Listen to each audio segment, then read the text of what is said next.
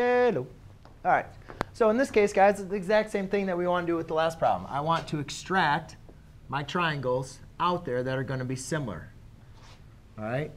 So what in this case um, that we have is these are parallel. So in this case, um, what we have is.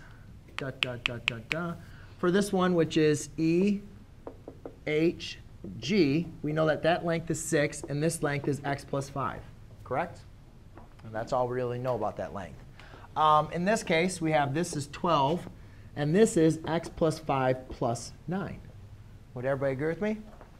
So since they say that these are similar triangles, we know that they are proportional to each other. We just need to find the missing value for x.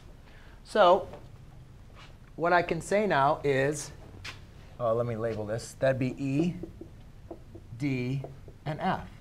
So what I could say is EG is to ED is equivalent to HG, which is to FD, right?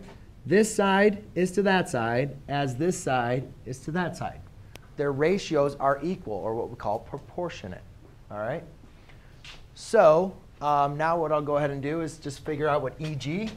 So that's going to be x plus 5 over, this becomes x plus 14, which is equal to 6 over 12.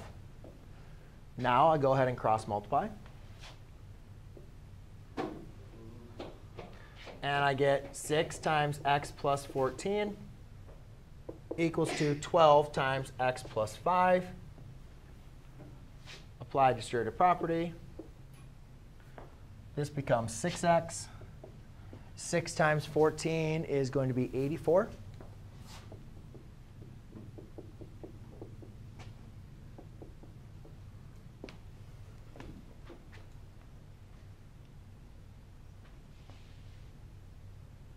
Okay. So now I get the x's on the same side, so I'll subtract the 6x on both sides. I'll subtract the 60 on both sides. So I have 24 equals 6x, divide by 6, divide by 6, x equals 4. Any questions, Taylor?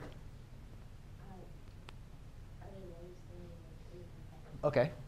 Um, do you remember similar triangles are proportional to each other? No? Okay. This is question number seven.